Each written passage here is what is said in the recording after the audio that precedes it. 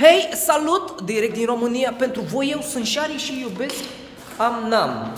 Astăzi îmi veți putea lăsa întrebările pentru Amnam chiar în acest vlog, de fapt nu la acest vlog, pe Instagram. Intrați pe Instagramul meu, Shari Vlogger, îl aveți și sus aici și primul link din descriere este Instagramul meu. La poza cu mine, cu Amnam, puteți lăsa întrebările. Nu îmi lăsați întrebările aici.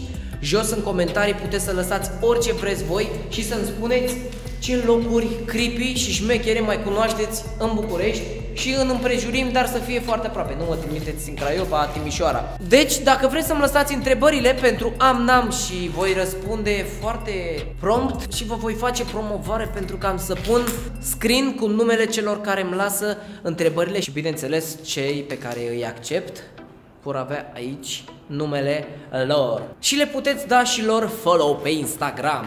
Ce părere aveți despre acest loc? Și îmi place foarte mult să fac foarte multe graffiti și sper că nu ați uitat despre cel mai mare proiect pe care îl voi face începând cu 1 iunie, România în 45 de zile. Voi face 45 de piese pe care le voi posta timp de 45 de zile consecutiv. În fiecare zi veți asculta câte o melodie nouă despre celebra și fascinanta Românie. Probabil vă gândiți și, după cum am văzut și în comentarii, Shari, despre ce ai de gând să faci în acele melodii. Chestia este că nu vă pot spune pentru că nu vreau și altcineva să mă copieze sau să zică gen am făcut și eu și am făcut înaintea ta. Nu, așa ceva nu se poate pentru că eu voi fi primul și singurul din România, mai exact de pe globul pământesc care face așa ceva care va cânta 45 de piese cu videoclip cu tot, toate despre România.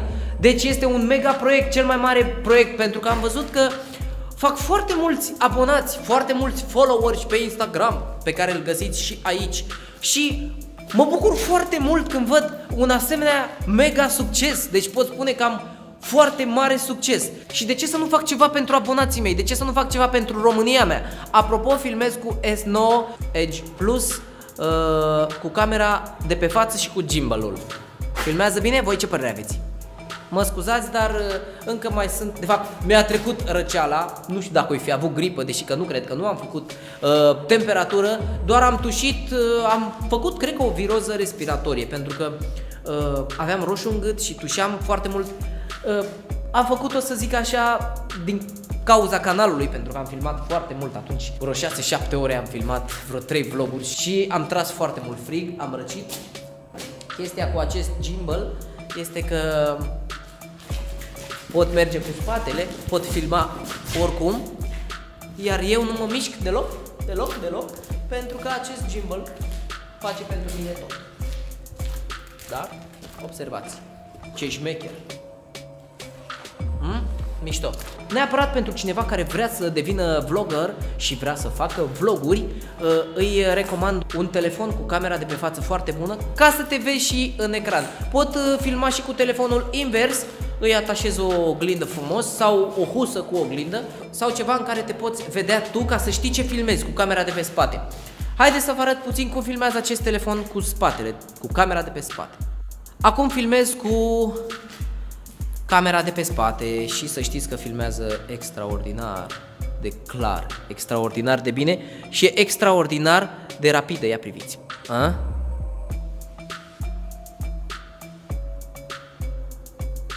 Celebra mea tăietură. Deci filmează foarte bine cu camera de pe spate și cu culmea că filmează 4K. 4K. Vedeți, cam așa ceva ar filma și nu știu exact cum mă filmez pentru că eu nu am în ce să mă văd și nu îmi pot da seama cum mă filmez. Nu știu dacă sunt pe centru, uh, acum sigur sunt, pentru că logic am împins telefonul foarte departe de mine și cred că mă văd, dar uh, cred că așa.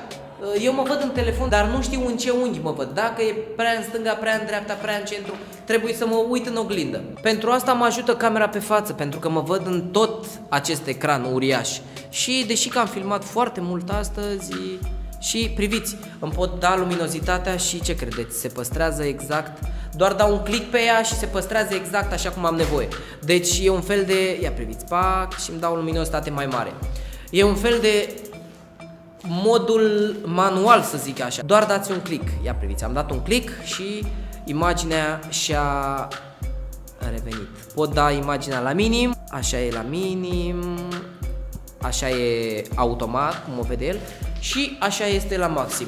În acest mod, uh, la maxim, se vede foarte bine când filmăm la întuneric, cum e aici să zic. Deci luminozitatea acum la această cameră este la maxim. Dau click pe mine și și-a revenit, observați? Deși care are un uh, sistem semi-semi automat, să zic așa, uh, hibrid.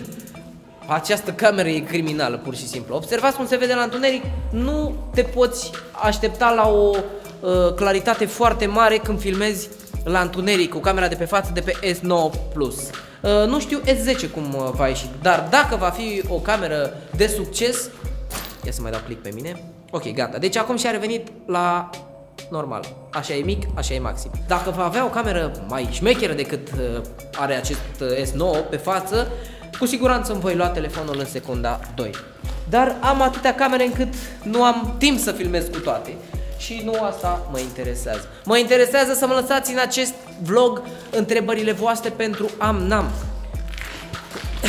Dacă fug un pic și credeți-mă am ceva viteză, observați că camera nu se mișcă deloc, doar eu.